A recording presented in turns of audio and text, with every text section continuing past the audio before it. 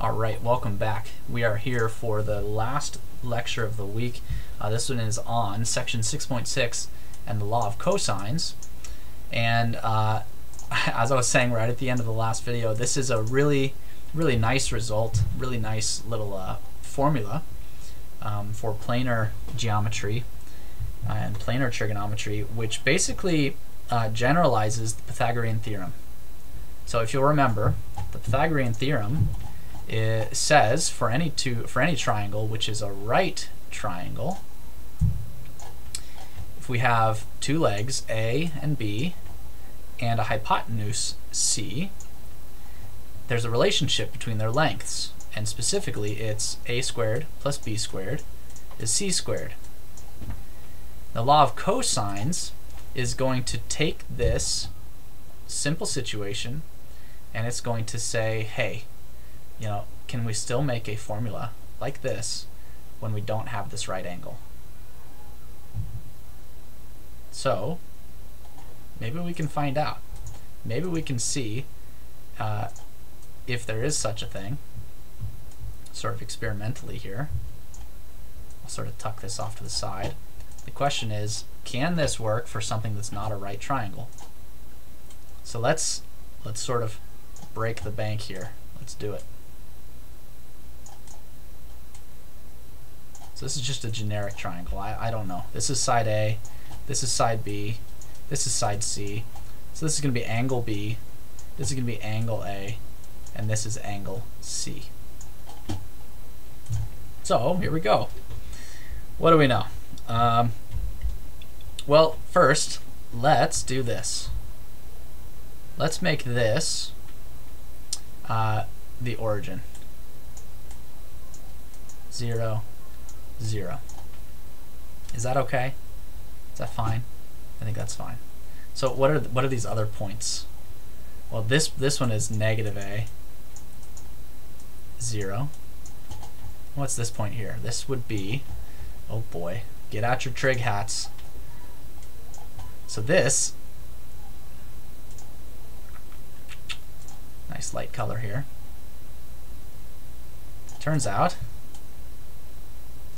is up at the top of this little triangle here, isn't it? So what are the coordinates? So this is some angle here. And what is that angle? That's 180 minus angle C, isn't it? Okay, so if I took B times the cosine of that angle,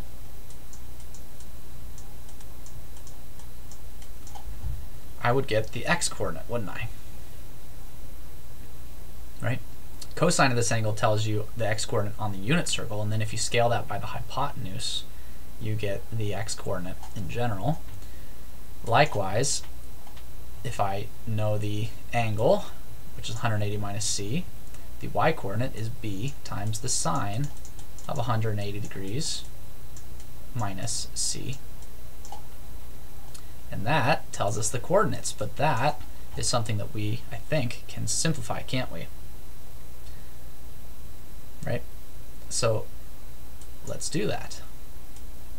B, B, what do we know about cosines and sines for some given angle and the relationship to 180 minus that angle?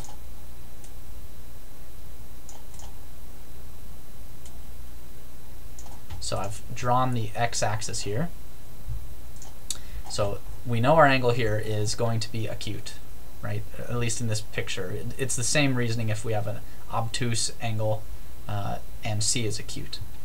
So this is the case that we've drawn here, and uh, the same same thing can be said if I draw it the other way with C being right or obtuse. So this is angle 180 minus C,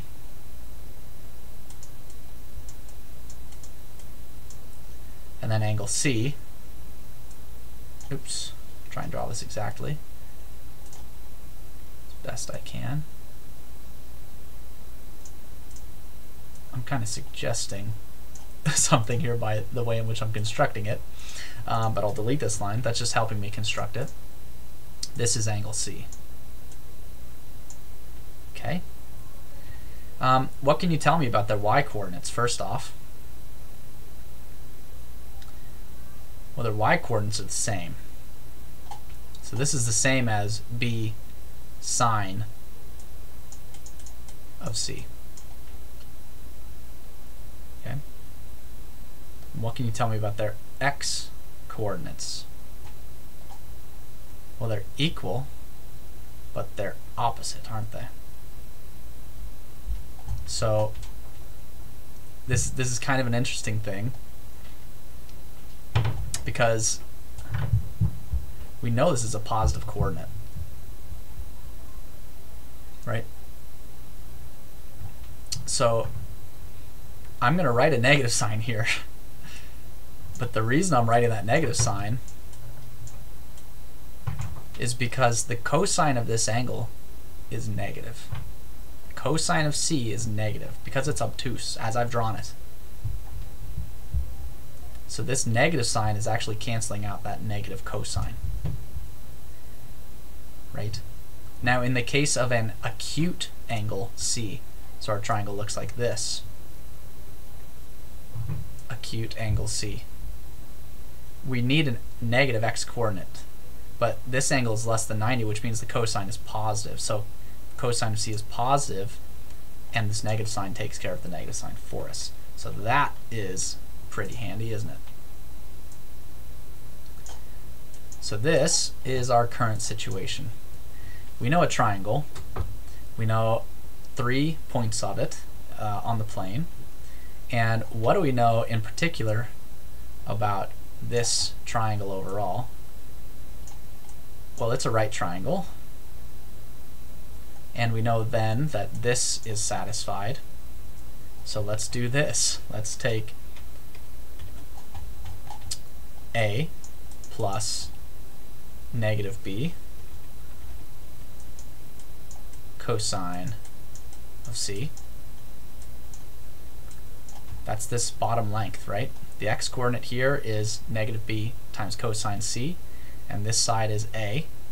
So if we add this length plus this length, um, remembering a is negative, um, if we square that, if we add this to the height of this triangle, which is b sine c, and we square that, what are we going to get? We're going to get c squared, little c squared. Right?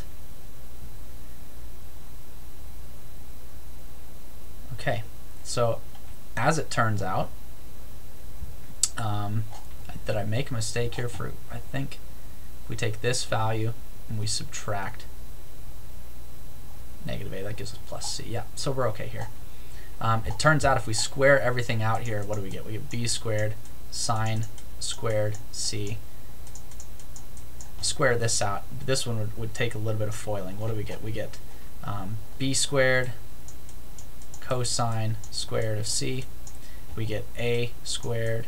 We get minus 2ab cosine square uh, cosine c plus this. Well, what do we know in addition? We can factor out this b squared. And it gives us cosine squared c plus sine squared of c. And that we know for sure is equal to 1 always. That's just the Pythagorean theorem for uh, cosine squared plus sine squared uh, equals 1. Um, so this simplifies down to this. a squared, if we think about what's left, a squared plus b squared times 1, so b squared, minus 2ab cosine of c is equal to c squared. If we think about what we've got here, if I erase this unnecessary information now, if you need to see all that worked out again, you can rewatch the video portion. what we've got here is a really handy formula.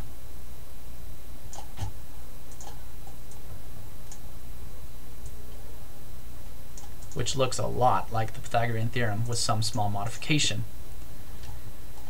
So we know this angle C is not a right triangle. This angle C is this angle C is not a 90 degree angle, is what I meant to say. Um, this is not a right triangle. It could be if C is 90, cosine is 0, so this drops out entirely and we get a squared plus b squared equals c squared. But if this is not a right triangle, this formula still holds. Nothing that we did in that in that solving process before was was erroneous. Nothing was wrong with what we did. So this is a nice little formula which tells you exactly uh, a relationship between that angle C, whether or not it's right, um, or 90 degrees. Uh, it tells you relationship between all three side lengths and that angle C. And there's equivalent statements depending on which angles you have. And here's the basic idea. So pick some side length. So I'll go with a squared. The basic idea is you add the squares of the other two side lengths, so a squared plus c squared. You subtract twice the product of those, and then you multiply by the cosine of the opposite angle to the side you chose over here.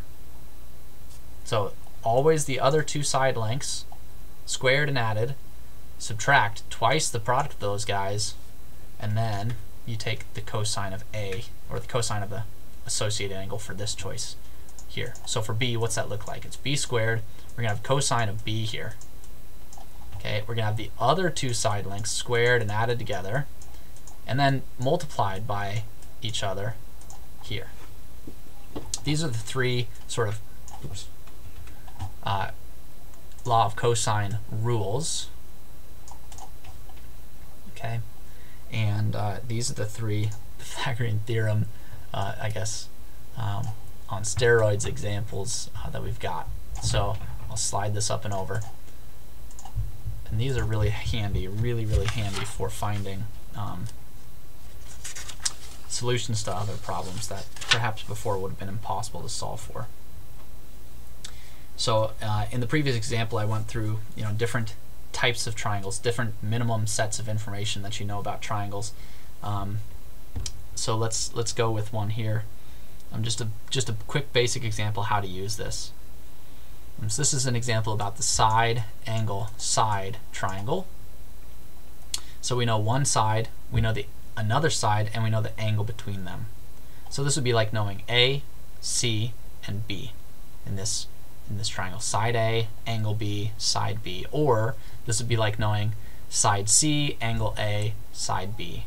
Or side C, angle B, side A. So it's just in that order, side, an angle, and a side. Um, so here's a nice little example of it. Um, yeah, so we'll just do this one, I suppose. Um, so let's say we know angle A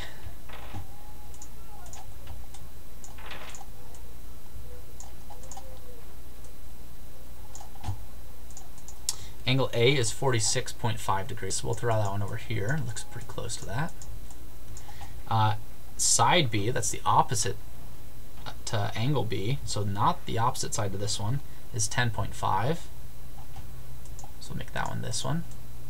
And angle, side C is 18.0. And in this question, we're being asked to find uh, the opposite side length. Um, and the easy solution here is just to use the law of cosines. So I'm going to do this with an x, and that's obviously not one of these.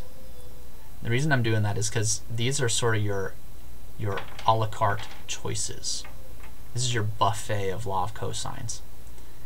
Okay, and you just need to sort of remember the form of it and how it's put together as opposed to just being given a triangle with correctly labeled sides A, B, and C and correctly labeled angles A, B, and C. It's more important to remember uh, the form of it and what it's how it's constructed. So I'm going to label this X so that I don't suggest which a la carte, a la carte choice you make. So law of cosines says there's a relationship between these three side lengths, x 10.5, 18.0, and this angle 46.5. So this angle is opposite this side length. So in the law of cosines, what you have is that side length squared is equal to something here, and there's going to be a cosine of the opposite angle in there. That's the first thing to remember, that no matter what uh, law of cosines you're going to choose, the relationship is always the same, that the cosine of the angle and the solitary thing you choose here on the left side of the equal sign, those are always paired. They're opposites. So cosine C, side C. Cosine A, side A. Cosine B, side B. These things were always written that way to represent a side and the angle opposite it. So that's, that's what I've written down here. So now we need to just fill in the rest of the information. What are the two things that are added together? Those are the squares of the other side lengths. So 10.5 squared plus 18 squared. Okay, that's that's essentially the Pythagorean theorem right there, right? But that doesn't work if we don't have a right triangle. Okay, and then what's the other little piece of the law of cosines? Well, it's always a minus 2. That never changes. And what the other piece is right here is this minus 2 and this cosine of 46.5. That's multiplied by the product of these two guys, not squared. So times 10.5 times 18. Okay. So how do we find x? We just square root this guy, and we've got it. That's going to be plus or minus, right? But uh, yeah, you can you can you can sort of orient this triangle however you want in the unit in the plane, and then you can choose appropriately what that sign is. Um, as I've drawn it, this triangle is not in any sort of standard form. Uh, so for this, at this point in time, I would just give the positive with the understanding that it could be negative if I'm treating it as a coordinate. Um, but if I'm treating it as just a length, I would choose the positive. Okay, uh, and that's it. That's how you would use the law of cosines. So this is another tool in your bag, just like the law of sines, for solving for uh, certain elements of a triangle that you don't know, uh, but where you do know other pieces of information about the triangle. Okay. So this is this is another one of those tools for having a minimal set of information about something and using that amount of information to solve everything else that you can know. Okay specifically here applied to triangles. And I think I gave you in the last last section a really good example of knowing distances to, to far off objects that you can't possibly go to in any reasonable manner. Um, finding distances in that way. Um, so that's it. Uh, that's section 6.6 is the law of cosines. Uh, I, I know I only did one example, but I spent a lot of time, you know, figuring it out with you. Um, so if you followed that and if you understood the example, then I'd say you're in great shape um, uh, to work on the problems. And uh, I will work on more problems on Wednesday in class. But for now, I hope that's enough. And I will see you in class or on office in office hours tomorrow on Wednesday. Uh, until then, uh, you take it easy, and I'll see you later.